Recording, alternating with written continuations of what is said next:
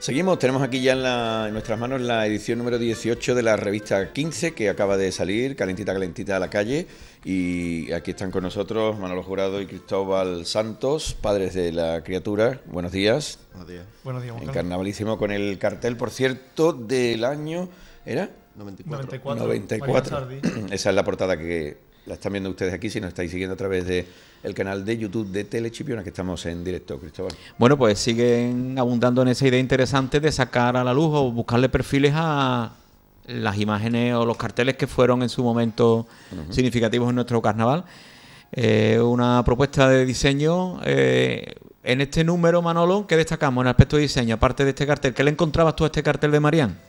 Pues un cartel que lo recuerdo desde el 94 porque siempre me gustó mucho.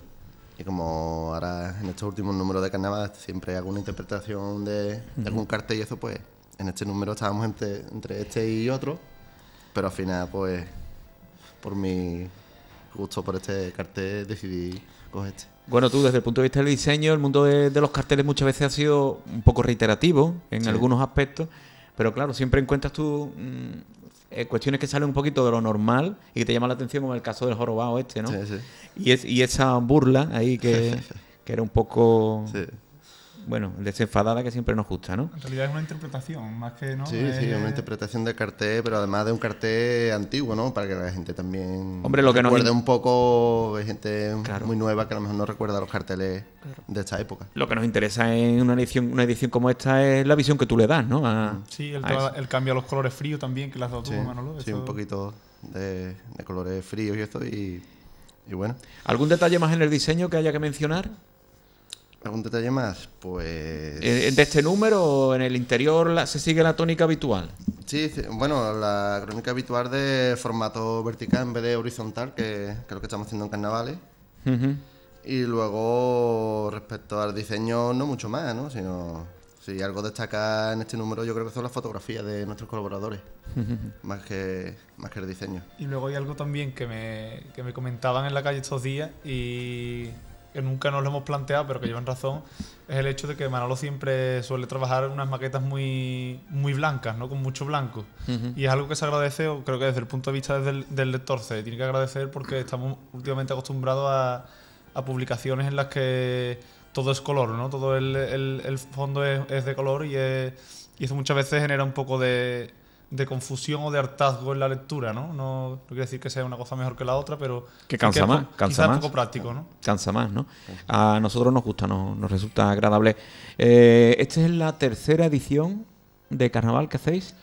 Mm, hemos hecho más, hemos hecho... Esta sería la quinta edición de Carnaval en realidad, lo que pasa es que hubo una primera que fue hace mucho tiempo, cuando la revista era en formato A4, pero fue el número 3 o número 2, puede que número 2 incluso que fue post carnaval y a partir de ahí hemos hecho con carácter de anuario por así decirlo mm, esta sería la cuarta la edición. cuarta. esta sería la cuarta edición siguiendo ese mismo modelo vamos este patrón.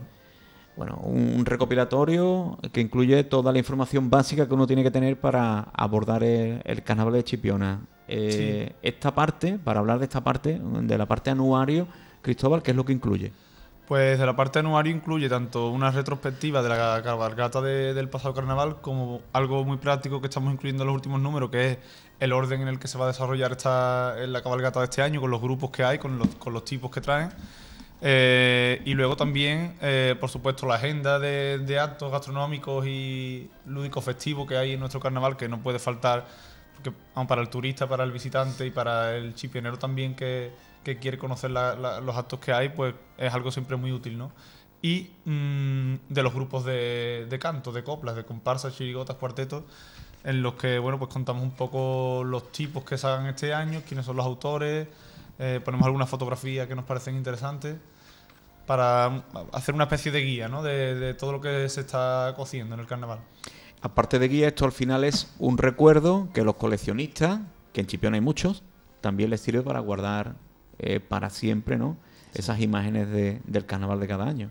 Sí, esto está claro que eh, a medio y largo plazo tiene un valor documental muy importante, ¿no? Como, como fiel reflejo, en definitiva, de lo que es la, historia de nuestro carnaval y de los hechos acaecidos durante casi un año, que es lo que retrata el propio carnaval y de lo que muchas veces en este tipo de publicaciones, pues bueno, tú haces alguna entrevista o haces algún reportaje y acabas hablando, quieras o no, de lo que ha ocurrido ese mismo año y de la historia del propio carnaval, que muchas veces también es reflejo de la sociedad chipionera, ¿no? En este caso, por ejemplo, con el tema de las peñas, ¿no? De que, que también se vincula un poco después con otros temas que ya hemos tocado en anteriores ediciones y de los que precisamente tú, Cristóbal Ruiz, has hablado en muchas ocasiones como, es, como son asuntos relativos al asociacionismo y a, y a la mm, potencialidad que tiene la gente de Chipiona cuando, cuando se une o cuando se desune para ciertas causas.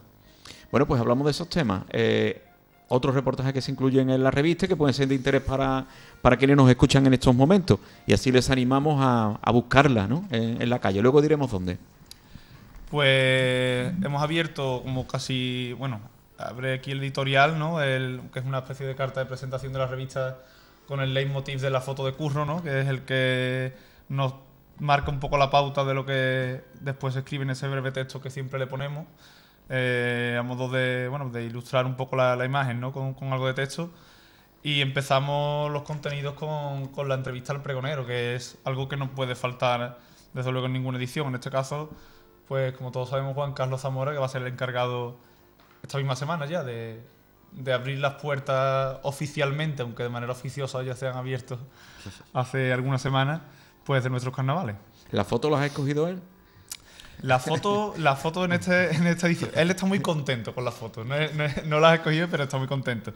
Porque las ha realizado Pepe Miranda Sí. y Pepe en esta ocasión nos propuso, le propuso a, a Juan Carlos el realizarlas en su hábitat natural, que además de la calle en carnavales, pues el, es, es pescando, ¿no? Es en la playa. Sí. El primer plano magnífico, después esa imagen suya en los bloques pescando. Y la tercera que, que es la imagen, aunque con la caña en la mano, pero tiene ese toque socarrón, irónico, ¿no? Y Sí. cachondo de, de Zamora, ¿no? Es como, vamos, es como lo retrata perfectamente, ¿no? Como, como es el personaje. Sí, muchas veces casi no hiciera falta la entrevista, cuando las fotos son así de, de significativas, ¿no? Pues sí. Pasamos página, otro reportaje interesante sobre la cabalgata del año pasado, ¿no? Y, y sobre un personaje de la cabalgata que está ahí un poco eh, oculto, ¿no? No es de los que más, más, más brillo más salen a la luz, pero que hay una aportación creativa importantísima, que es el Puyana. Es Puyana, efectivamente. Eh, bueno, pues esto también sigue un poco la tónica de años anteriores, en el sentido de que mm, solemos hablar con la gente que el año anterior pues ganó, ganó el primer premio de la, de la cabalgata. Y eh, en esta entrevista pues con Puyana, él, mm, aparte de hablar de- del año pasado, nos da su visión de, de cómo está la cabalgata, que es una visión muy crítica y una, una visión pues para tenerla en cuenta y para a, a quien proceda quizá reflexionar sobre lo que lo que está lo que pone sobre la mesa Puyana, aunque No- nos procede a casi todos, porque la cabalgata participan 2.000 personas, pues imagínate a todos los que nos procede. pues sí, no, aparte de una forma u otra todos estamos implicados, claro, claro. todos somos actores de la cabalgata, El entonces entero. Es algo que, que- que, bueno pues se puede tener se debe tener en cuenta, ¿no? Y- Mira que es difícil sacarle una entrevista a Puyana, ¿eh? Que no es dado a esto. Pues la, la hemos, la hemos conseguido. El, el tirón de 15, ¿no? La, la verdad que sí, ¿no? Que felicito, os felicito. es interesante y, y bueno, pues quizá él no tiene tanta voz en otras ocasiones porque precisamente no sale todos los años, ¿no? Tiene, es un poco discontinuo también en este sentido. Pero tampoco es una persona, eh, ni es una persona ni es una agrupación dada a, al protagonismo. Sí. Entonces eh, es más difícil escuchar su voz, ¿no? Habitualmente, ¿no? Y quizás, y, y de todas formas es una agrupación a la que se la espera, ¿no? Que eso también es importante, ¿no? Y no solo se la espera en la cabalgata de cada año, sino se la espera cuando salga. Efectivamente. porque claro, como no se, no se sabe, pues... Es algo que la- de aquí, vamos, lo comentamos con él, que precisamente quizá el hecho de que no salgan todos los años lo hace aún más esperado, ¿no? A ver, a ver qué nos traen cuando, cuando vienen, ¿no? Porque cuando vienen, desde luego que vienen con fuerza y vienen con ganas de, de hacer cosas nuevas, como el año pasado con el tema de, del blanco y negro. Que, Y ya es parte de su idiosincrasia, ¿no? También, ¿no? De, del de la propia sentido de la propia agrupación, eso de, de es estar y un no poco estar. ana- anárquico quizá en ese sentido, ¿no? De un Claro. año salgo, pues también porque es lo que ellos dicen, adaptan, adaptan sus, Sus posibilidades, posibilidades, a- al carnaval y no al revés, ¿no? Ahora se Dentro da de dos mucho eso en el, que en el mundo de las agrupaciones en el Carnaval de Cádiz, se está dando eso también. Hay agrupaciones en Cádiz que, que salen cada dos años o cuando pueden. Claro. Sí, Eh, el eh. propio su bienvenido, por ejemplo, ¿no? que dice que él todos los años no va al falla, ¿no? Porque si no tiene tiempo de preparar algo en condiciones, pues prefiere salir a la calle y ya está. Avanzamos. Avanzamos y seguimos con cabalgata, porque otra de las cosas que nos gusta hacer siempre es una, un análisis ¿no? de, de- de cómo está la cabalgata, que quizá mm, a posteriori nos hemos dado cuenta un poco de que, bueno, el propio Puyana ya ha hecho este análisis, pero claro, cuenta, cuenta su visión, ¿no? Eh, de lo que era una entrevista, él mismo nos ha aportado muchas claves de lo que también habla en este reportaje, que es de, de los errores, los, los fallos los- y también los aciertos que hubo, sobre todo en el pasado carnaval, la pasada cabalgata, que, que hubo muchas cosas que manifiestamente mejorables y que a buen seguro pues este año se tratarán de corregir. Aquí hablamos con algunos de los actores principales de la cabalgata que nos exponen pues este tipo de, de cuestiones. Y que es algo muy complejo. La cabalgata de carnaval de Chipiona Es muy difícil Es acertar. muy, muy complejo. Y para hacerle un pueblo con los recursos no municipales, sino con los recursos sociales eh, que tiene un pueblo tan pequeño como Chipiona, ¿no? Pues sí. Eh, Es muy complejo. Yo creo que, lo, que, que hagamos la cabalgata de carnaval y que dure tantos años tiene un mérito eh, increíble. Increíble. Y que, sa- que salga todos los años y que acabe tiene un mérito increíble. Pues sí, hay que, eh, vamos, el, el llevar la organización de, de un evento de, esta- de estas características, la verdad que, que es bastante complicado. ¿no? Que la hagamos, que la hagamos como pueblo, digo, que la hagamos como pueblo, pues, Sí. Tiene un mérito increíble, claro, porque es que este concepto de cabalgata, esto no existe en ningún sitio del mundo entero. Y yo creo que la mayoría de los sitios ni se lo habrán planteado hacerlo por lo difícil que es, ¿no? Pues sí, que es dificilísimo. Después habláis con un histórico. Histórico que es pasado y presente de nuestro carnaval ahora mismo, Manolo Pa- Guardia. pasado, presente y futuro. Efectivamente. Bueno, futuro más bien son, su- son sus niños y, Fut- y él también porque está alimentando esto, ¿no? Claro, claro. Pues sí, eh, vamos, lo que, lo que comentamos, ¿no? Manolo Guardia, que ya lleva por su segundo año con la, con la comparsa juvenil. Y bueno, precisamente esa doble vertiente que tiene él, como, como tú dices, de histórico de nuestro carnaval y de crear cantera, precisamente, es lo que hemos intentado destacar y comentar con él, ¿no? Yo prefiero que lo lean ustedes y aparte que vean las fotos de Antonio Castro, que también son excepcionales. Por cierto, está colaborando muy activamente ahora con, Con 15, nos- ¿no? Con nosotros y viceversa, porque no, la verdad que en este número, eh, por supuesto, además de, de Irene Vélez, que como siempre nos ha hecho su, su reportaje fotográfico también, que lo cede a la, a la revista con, con las damas y, y, por supuesto Curro también. Eh, hemos tirado mucho de Antonio Castro porque en este caso tiene mucho trabajo ya hecho de, de por sí, porque está, está preparando un libro también con el que estamos, en el que estamos colaborando y tenía mucho material ahí almacenado que era una tontería mm, volver a hacer dos veces un mismo tra- un trabajo que ya estaba hecho, ¿no? Entonces tiene un archivo muy bueno de, de fotografía que nos ha servido para, para ilustrar mucho de esta revista. El nivel del mundo de la fotografía en Chipiona en estos momentos es excepcional y buen ojo tuvimos ¿no? en su momento cuando la revista ya empezó a, a sacar a la luz a, a todos estos artistas gráficos y a darle valor al trabajo que estaban haciendo. Y creo que de ahí viene, ¿no? De haber en esos momentos regado esa semilla, ahora está floreciendo y le podemos sacar muchísimo partido. A ver si hay más opciones y en otros ámbitos también de, de Pues sí. poder lanzar a todos estos artistas gráficos que hay en Chipiona que son excepcionales, ¿no? La verdad que es muy agradable porque el- y, y yo creo que el 60% de la, de la calidad de, de la revista, de que sea tan, tan esperada y tan, tan bonita, por así decirlo, en gran parte es gracias a la buena fotografía que tenemos. Sí, la creatividad y, y bueno, ya estamos hablando de fotografía, las fotos de las damas, que, que en este momento es un golpe de color, ¿no? Que se nos viene a la vista, esas Sí. fotos de Irene, eh, siempre dándole pues su visión, ¿no? Siempre a las esperadas chicas disfrazadas, ¿no? Siempre esperada y algo que, que precisamente empezó Irene con nosotros hace ya creo que tres, cuatro números y que ya se ha convertido en una, en una tradición para ella y que las propias chicas pues disfrutan de lo lindo de este, de este tipo de sesiones. De hecho, algunas dicen que, que casi se presentaba solamente por el hecho de, Por esto. de la Sí, claro. fotografía. Que es, un premio, encanta, a fin de cuentas es un premio más, ¿no? Bueno, y un asunto de enjundia, el asunto de las peñas. Pues la, la, las peñas, pues claro, es lo que, lo que estábamos hablando antes, ¿no? El, es el paso de, la forma antigua de, vivir el carnaval a la forma nueva, ¿no?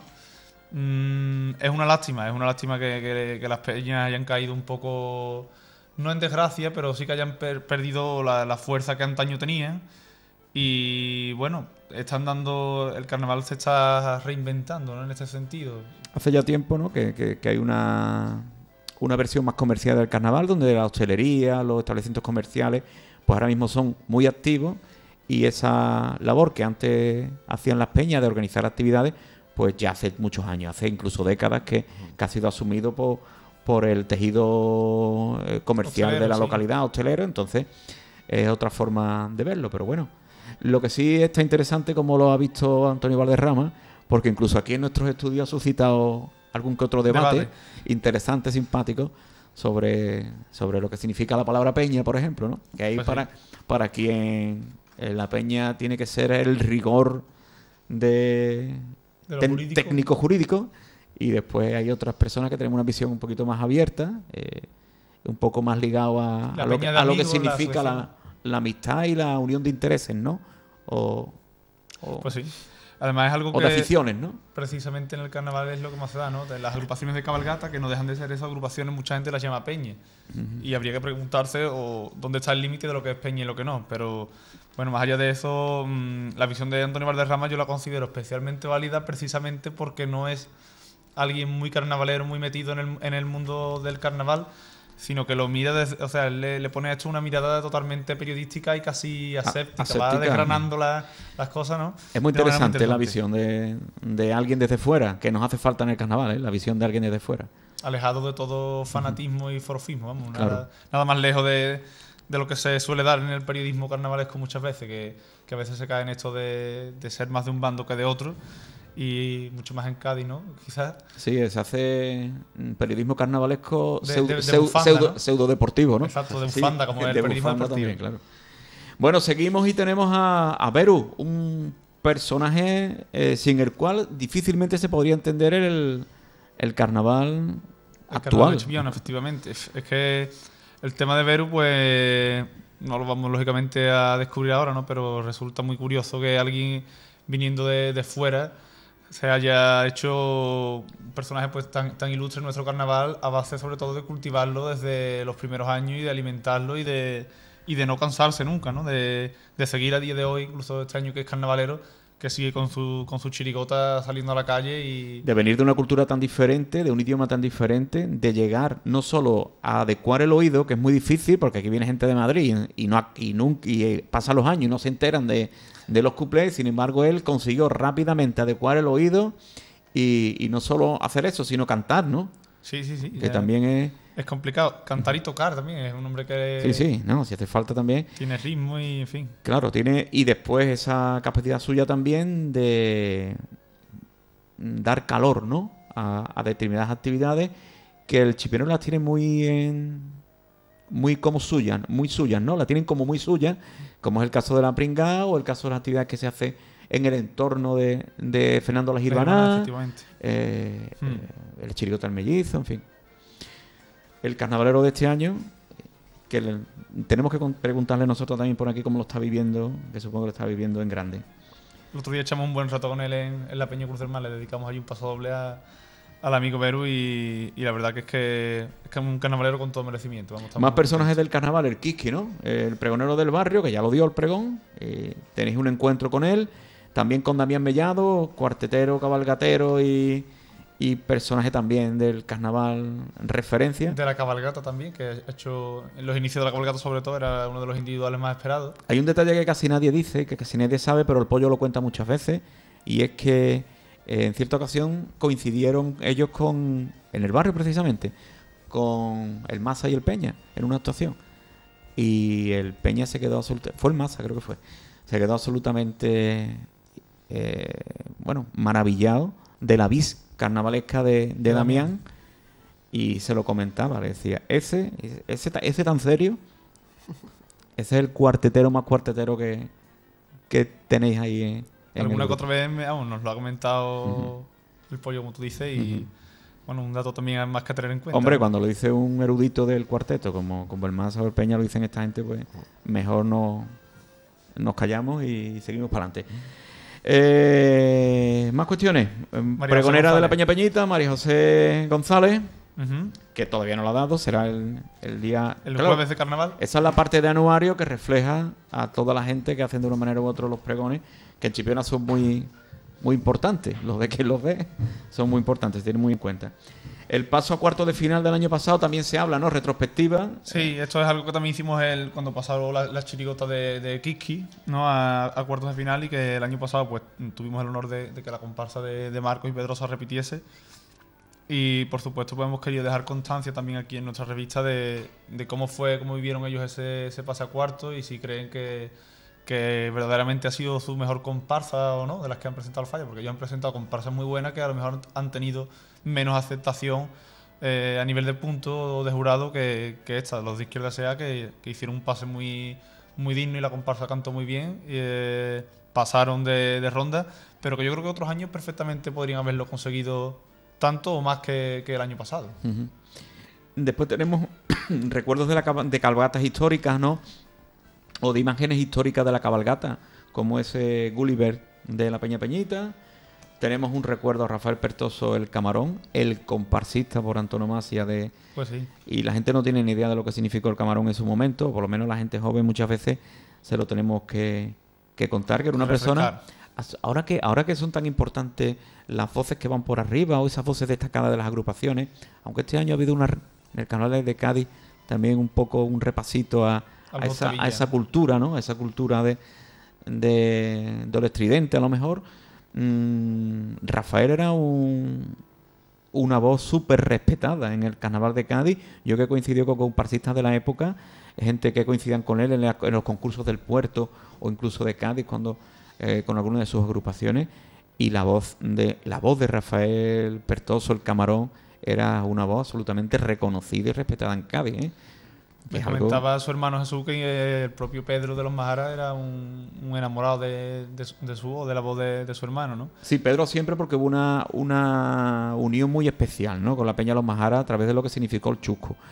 Mm, Pero independiente, pero creo que tiene más valor incluso cuando alguien de Cádiz, cuando la gente de Cádiz nos hablaban de, de la voz de Rafael, ¿no? Porque lo conocían menos. Ten en cuenta que la comparsa del Chusco iba mucho a, a la Peña de la calle Ganao y al puerto y, y la vinculación era muy importante. Y Pedro, pues, era como si fueran hermanos suyos los de aquí, ¿no? Pero tenía más valor todavía cuando lo reflejaba gente de Cádiz, ¿no? Y, y recordaban esa voz porque era una, un alto, mm, limpio, ¿no? Eh, como los de aquella época, eh, sin ningún tipo de, de caracoleos innecesarios, ni... Bueno, en fin. El, el alto... Sin más barroquismo que el que pide la propia música. Claro, muchas claro, claro, veces-. El que hoy en día alguna gente en Cádiz está demandando. Ese tipo de... Sí, es, es una. no es yo creo que es una evolución, voy a decir una involución en el sentido de que ha habido una época de moda de, de- de mucho caracoleo que todavía sigue sigue coleando, vamos, pero, pero que sí, que mucha gente está demandando el volver un poco a la sencillez, ¿no? A la que no, no es necesario tanta, tanta floritura al, al cantar. Bueno, pues aparte de la agenda, el programa de actividades, eh, algunos apuntes porque la gastronomía y el vino nos falta y eso es bueno, por eso significa que estamos vivos. ¿No, Manolo? La gastronomía y el vino que nos falte, aunque estemos en carnaval, muchísimo menos porque el vino y la comida en carnaval es básico. forman parte también de la, de la fiesta, ¿no? ¿Se podría entender el carnaval sin, sin la gastronomía y sin el vino?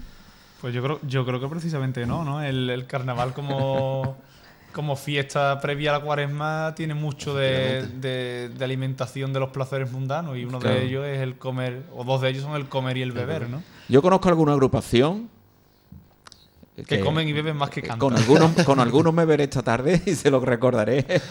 Eh, me veré con ellos esta tarde. Eh, me parece a mí que si el vino estuviera prohibido no saldrían. Pero vamos, que te lo aseguro. Bueno, y ya prácticamente, bueno, lo que nos quedaría era el, era el mundo de las costureras, ¿no? También. o- Sí, con el, con el dos mejor que uno hemos, hemos querido también comentar un poco el regreso de, de Nada Rima Rufo, otros dos históricos de nuestro carnaval que, que este año vuelven a, a la comparsa, ¿no? en este caso a la comparsa femenina.